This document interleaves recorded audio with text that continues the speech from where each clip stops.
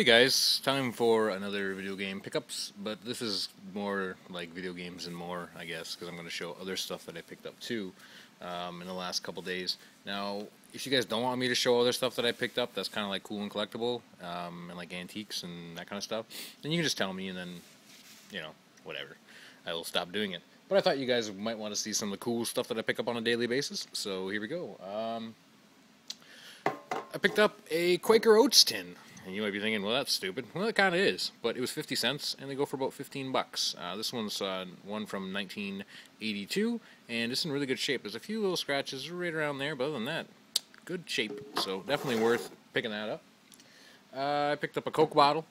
It was a buck. Um, it is from probably the 70s, and it's worth about $6, $5. So a buck ain't bad. Uh, I picked up a Cinderella McDonald's glass, and this was $1.99. They go for about 8 to 12 bucks, give or take. Um, they're really collectible, and this one here is in absolutely mint condition, like no one's ever used it. Uh, you can get ones like Star Wars ones, and they can be worth up to like 50 bucks a piece. So if you ever see things like that, and they're Star Wars, or even WWF wrestling ones uh, with like Ultimate Warrior and Hulk Hogan and Macho Man and whatever, those guys are worth about 8 to 10 bucks a piece too. So you found them for a couple bucks, that's a good deal. Uh, I got an old A&W root beer mug, um, you know, from 60s, give or take, and that was a buck 99.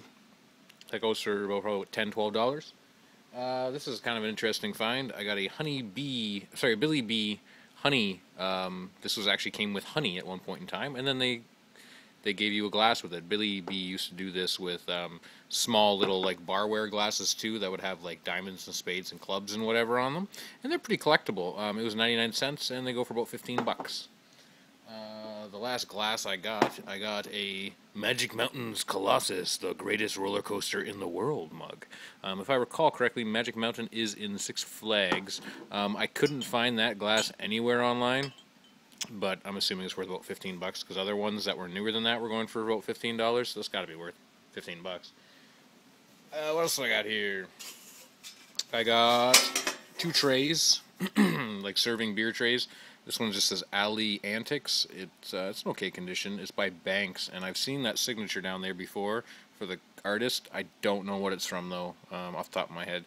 But anyways, that was two dollars, and that's an original from probably the '60s.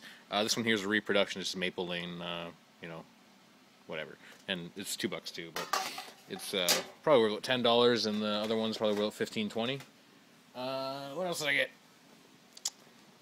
I got the Starship Enterprise. Uh, this one's from 1992 Playmates version. It's missing the nacelles on the back, which kind of blows. With the nacelles, it's worth like 45, 50 bucks. Without the nacelles, it's worth about 20 bucks. But I paid five dollars for it, so I guess I'll probably get you know four times my money out of it. Um, I tested it out. It does work. It makes all the great Star Trek sounds that y'all love. Um, I'm gonna try to make some room here. Um, I think I paid five bucks for this. This I can open it up for you because I haven't opened it yet. It is a very dusty uh, Minolta X370 camera. Um, in good working condition, they go for about 60 bucks. So for five, six dollars, that ain't bad.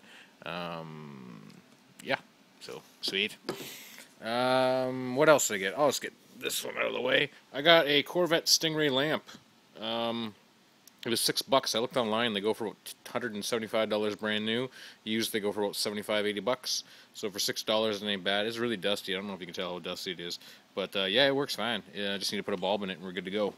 So that wasn't bad for $6. Um, what else we got in here?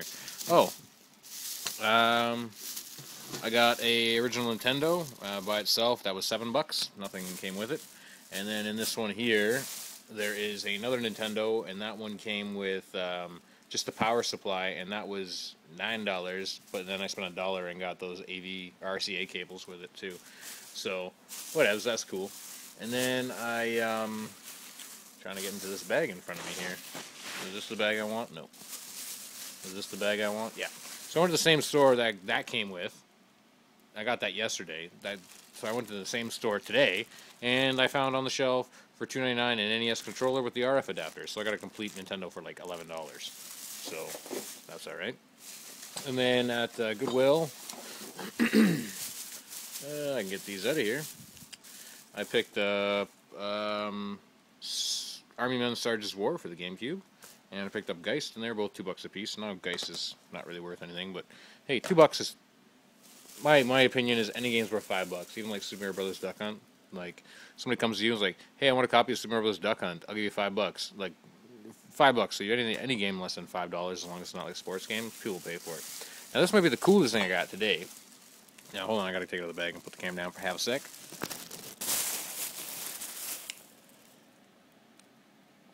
Now I can't find anything about this online anywhere. I looked, but it is an Apollo 15 pen thing, and I don't know how to compare the size of it. It's probably what 10 inches long, five inches high, and it says on it, you're probably not going to be able to see what that. I'm going to see if I can get a white background so you can see it. It says, uh, first motor vehicle on the moon, July 30th, 1971 to August 2nd, 1971. Fiberglass materials continue to play an important role in man's exploration of space, from textiles and fire-safe suits to reinforcement applications in the lunar and command, command modules and now in the lunar roving vehicle. And then it says Owner, o Owens Corning Fiberglass and then it's got the big ass um, Apollo 15 Scott Worden and Irwin thing, um, and the little rover inside of there. Um, yeah, I can't find anything about this online. Um, I, I, looked everywhere and I couldn't find anything. Uh, it's in fantastic condition. There's no chips or anything missing. Uh, I don't know if you can see that or not. Let's see if I get better light for you. There's a little crack right there on the pen, and a little crack right there on the pen, and this is made in the USA on the pen. But other than that, nothing else. So that's cool. I paid two ninety nine for that, and I'm thinking it's probably worth anywhere in the probably the forty to one hundred and twenty five dollar range. So not bad for two ninety nine. There's something on there. Oh, that's just a piece of smudge. Um, so yeah, that's what I picked up today, and uh, yeah, I think I'm, I might have picked some other stuff. I just can't remember off the top of my head. And then I went out for dinner and got takeaway, and um, they forgot about me, so they gave me my meal for free, which was awesome. So I got like twenty five dollars in free food today. So yeah, that's it. Thanks for watching, guys. Have a good one. And as always, take it easy.